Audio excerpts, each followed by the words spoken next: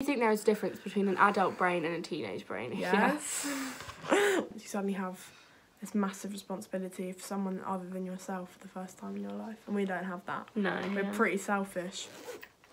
Very, very selfish, in fact. I don't think we're selfish. I do. In the end, every adult's been a teenager, and we think, Duh. you don't know, you don't know what it's like. You never understand me, but they probably do because they've been it before. What's the best thing about being a teenager? I think experimenting with like what to wear and like what you look like. That can go so wrong. Yeah, because we've all been through like weird stages. Eyebrows. Eyebrows. We've all been through some weird eyebrow stages. Give us three words that describe what it's like to be a teenager. Literally, like depressing, like just boring, and being a teen just is so restricting. Like I just can't wait to like have my own car and own house and just be able to do what I want. What do you hate about social media? Literally nothing. I hate this question. I hate this question.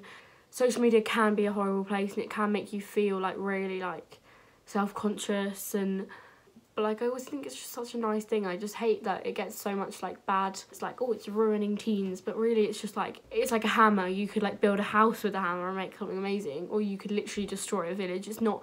It's not like the hammer. It's what you like do on the hammer. Do with the hammer. Do with the hammer. Right? What do you hate most about social? I hate the like all the celebrities in their bikinis on the beach when their stomachs are like this big and their hips are like this big Yeah. and it's just so unrealistic. And people people look at that including me myself. I look at and think oh I want that body but realistically it's all just not real.